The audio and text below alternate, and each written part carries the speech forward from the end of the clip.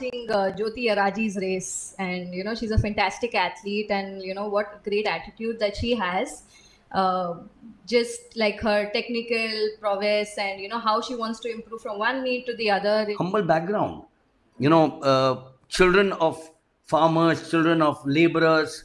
Or we'll give uh, the introduction very quickly. Anjali in one, Sonia in two, Chilimi in three, Pavitra in four, Maria in five, Sakshi in six, Tamashri in seven, and Bishaka in eight. There seems to be a vacant one. Gosh, I can't believe it. 100 meters, we all fight. Give me an opportunity, I'll go and be on the blocks there.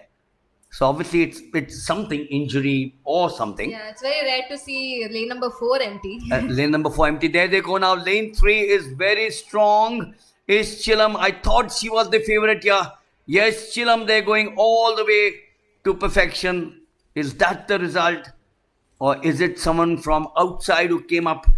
This hasn't been a, a race going for miles to see unlike the men's, but they look at lane number five, pushing her.